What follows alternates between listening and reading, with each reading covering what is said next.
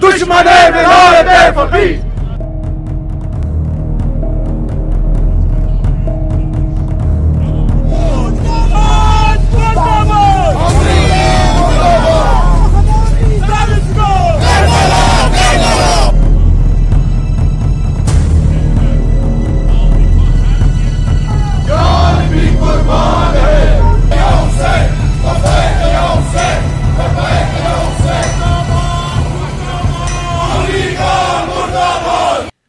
नमस्कार, प्रभाव साक्षी news network के खास कार्यक्रम विश्व खबरों में आप सभी का स्वागत है। क्या दुनिया एक और खाड़ी युद्ध की ओर बढ़ रही है? क्या दुनिया तीसरे विश्व युद्ध के मुहाने पर खड़ी है? यह सवाल उठ खड़े हुए हैं अमेरिकी हवाई हमलों में ईरान के शीर्ष सैन्य कमांडर कासिम सुलेमानी के मारे जाने से। ईरान के इस्लामिक रिवॉल्यूशनरी गार्ड कॉर्प्स के कुछ बल के कमांडर सुलेमानी की शुक्रवार को बगदाद में अमेरिकी ड्रोन हमले में मौत हो गई। जिसके बाद क्षेत्र में तनाव बढ़ रहा है। इस हमले का आदेश अमेरिकी राष्ट्रपति डोनाल्ड ट्रंप ने दिया था। ट्रंप ने इस बारे में खुद ट्वीट कर बताया कि जनरल कासिम को क्यों मारा गया। ट्रंप ने कहा कि कासिम ने काफ़ी समय तक हज़ारों अमेरिकियों की हत्या की या उन्हें बुरी तरह घायल किया। वह कई और अमेरिकियों को जान से मारने की योजना बना रहा था, लेकिन जद में आ ही गया। वह प्रत्यक्ष या अप्रत्यक्ष रूप से लाखों लोगों की हत्या का जिम्मेदार था जिनमें बड़ी संख्या में वे प्रदर्शनकारी भी शामिल हैं जिनकी ईरान में ही हत्या कर दी गई As President, my highest and most solemn duty is the defense of our nation and its citizens. Last night, at my direction, the United States military successfully executed a flawless precision strike that killed the number one terrorist anywhere in the world, Qasem Soleimani. Soleimani was plotting imminent and sinister attacks on American diplomats and military personnel, but we caught him in the act and terminated him. Under my leadership, America's policy is unambiguous to terrorists who harm or intend to harm any American. We will find you, we will eliminate you, we will always protect our diplomats, service members, all Americans, and our allies. For years, the Islamic Revolutionary Guard Corps and its ruthless Quds Force, under Soleimani's leadership, has targeted, injured, and murdered hundreds of American civilians and servicemen. The recent attacks on U.S. targets in Iraq, including rocket strikes that killed an American and injured four American servicemen very badly, as well as a violent assault on our embassy in Baghdad, were carried out at the direction of Soleimani. Soleimani made the death of innocent people his sick passion, contributing to terrorist plots as far away as New Delhi and London. Today, we remember and honor the victims of Soleimani's many atrocities, and we take comfort in knowing that his reign of terror is over. Soleimani has been perpetrating acts of terror to destabilize the Middle East for the last 20 years. What the United States did yesterday should have been done long ago.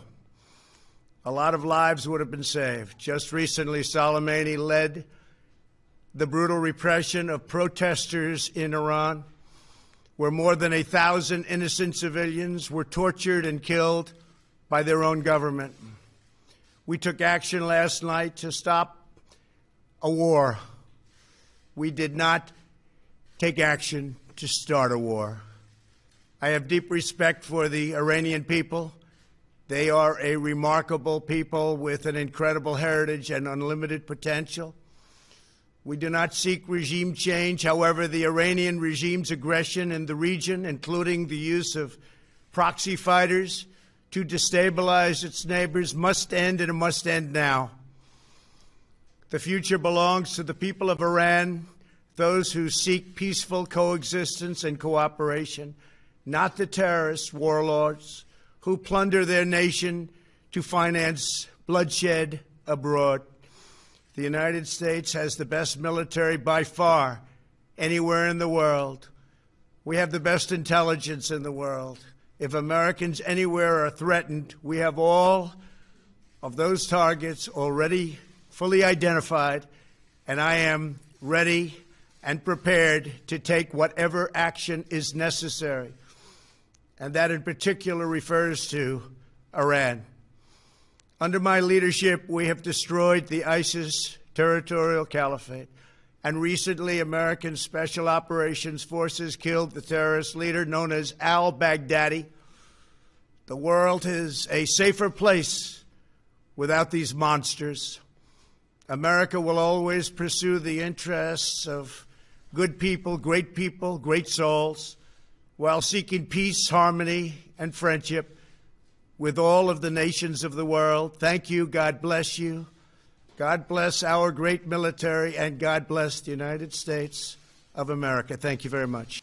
General Qasim की मौत पर Iran ने तो कड़ी प्रतिक्रिया जताई है दुनिया भर के शिया मुस्लिम भी अमेरिका के विरोध में एकजुट हो गए हैं खुद भारत में कश्मीर और लद्दाख के शिया मुसलमानों ने शुक्रवार को विरोध प्रदर्शन करते हुए अमेरिकी सरकार के विरोध में जमकर नारेबाजी की और एक मार्च भी निकाला भारत सरकार ने भी ज़ोर दिया है कि उसके लिए क्षेत्र में शांति, स्थिरता और सुरक्षा अत्यंत महत्वपूर्ण है। विदेश मंत्रालय ने एक बयान में कहा कि भारत ने लगातार संयम पर ज़ोर दिया है और यह महत्वपूर्ण है कि स्थिति और खराब नहीं हो। उधर अमेरिकी राष्ट्रपति के इस कदम पर सवाल भी उठ रहे हैं कि क्या इस वर्ष होने वाले अमेरिकी राष्ट्रपति चुनाव में अपनी स्थिति मज़बूत करने के लिए ट्रंप ने यह कदम उठाया है।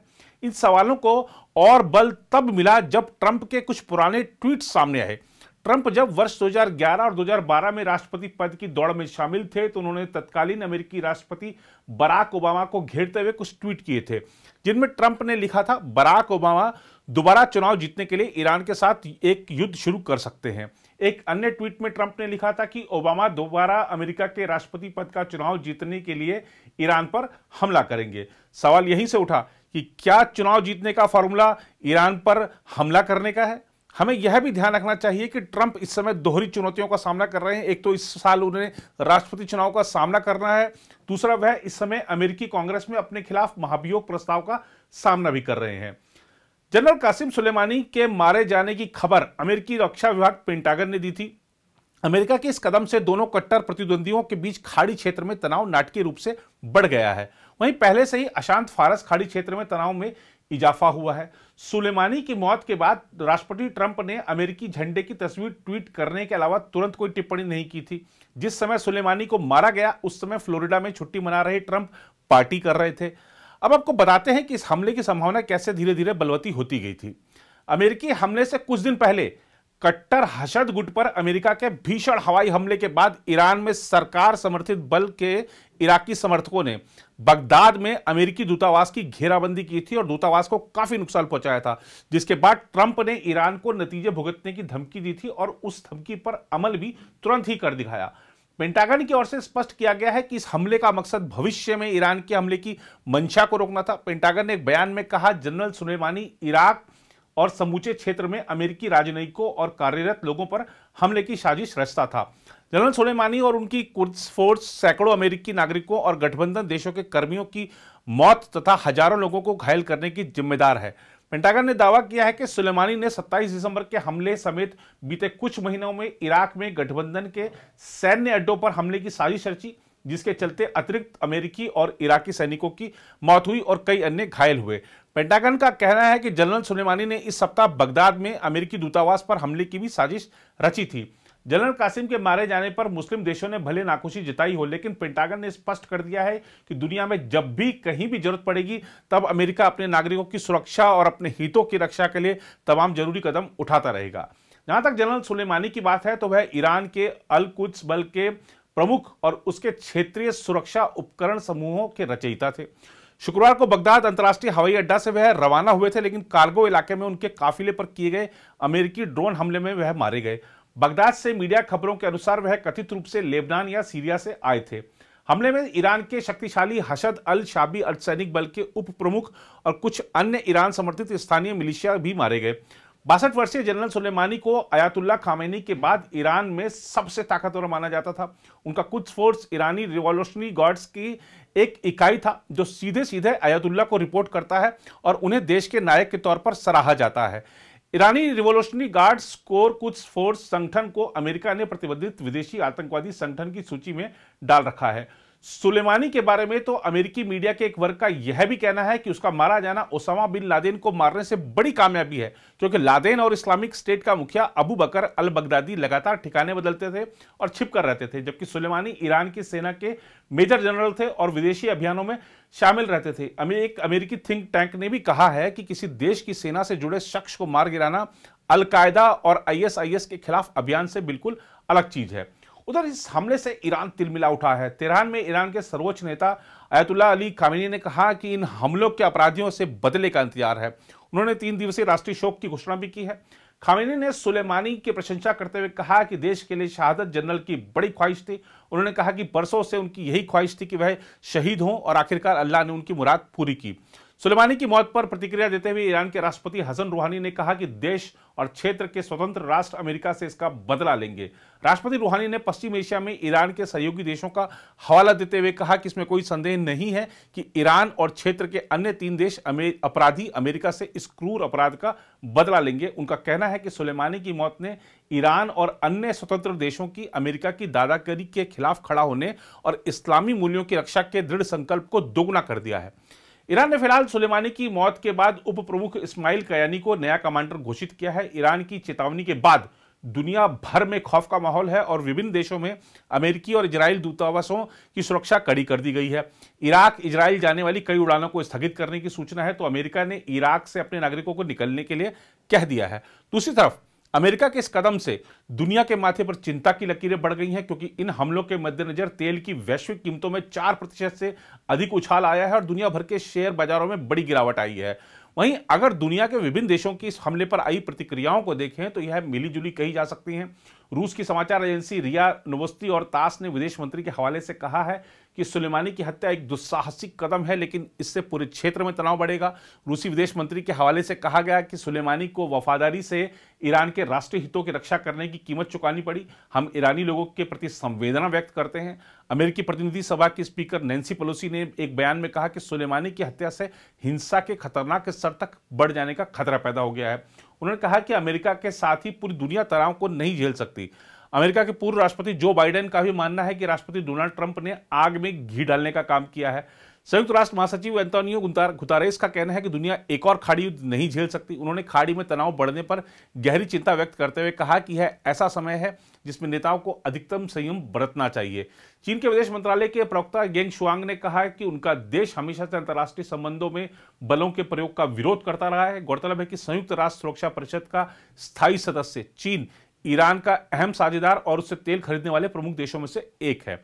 इराक के कार्यवाहक प्रधानमंत्री अब्देल अब्देल मेहदी ने कहा कि अमेरिकी हमला एक आक्रमण है, जिससे विनाशकारी युद्ध भड़क सकता है। इन हमलों में एक इराकी कमांडर की भी मौत हुई है। फ्रांस की यूरोपीय मामलों की मंत्री एमिली डी मोटेकेलिन ने फ्रेंच रेडियो से कहा कि सुबह उठते ही हमें बेहद खतरनाक खबर मिली। वहीं सीरियाई सरकार ने अमेरिका पर मध्य पूर्व में संघर्ष भड़काने की कोशिश करने का आरोप लगाया है। इस बीच लेबनान में ईरान समर्थित हिजबुल्ला समूह ने सुलेमानी की मौत का बदला लेने की बात कही है। बहरहाल, अमेरिकी राष्ट्रपति अपने इस कदम से अपनी पार्टी के भीतर भले मज़बूत हो गए हों, लेकिन साफ़ तौर पर दिख रहा है कि विपक्षी पार्टी उन्हें इस मुद्दे पर लाभ नहीं लेने देगी। अमेरिकी सदन की स्पीकर और शीर्ष डेमोक्रेट नेता नैन्सी पोलोसी ने चेतावनी दी है कि अमेरिका ऐसे भड़काऊ और अनुचित कार्यों से अमेरिकी नागरिकों, कर्मियों और राजनयिकों की जान को खतरे में नहीं डाल सकता।